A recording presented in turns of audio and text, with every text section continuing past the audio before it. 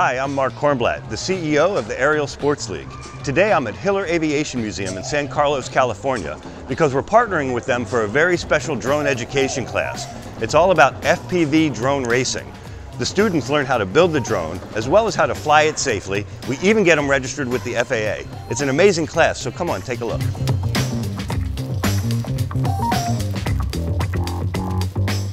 Drones are here to stay, and Aerial Sports League offers programs and curriculum for every need.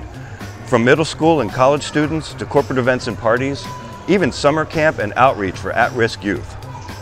So my name is Tyler. I'm a middle school math teacher. Um, and my name's Katie, and I teach second grade. I think that quadcopters and unmanned aerial systems is the future of technology, and I think that I'd like to teach my students what I'm learning here today. So I'm really glad that I could come here and it, I would have drove like seven or eight hours even to get here. I'm glad that we get to build it and fly it all at the same time. It was a good bootstrap into learning so that you, you know, quickly get up to speed because there's just a lot of parts out there and there's a lot of information and it's hard to pick a path. I thought it was good that you guys prepared how much you prepared because we could still build some of it. There's some parts that would take a lot longer that was pre-done for us.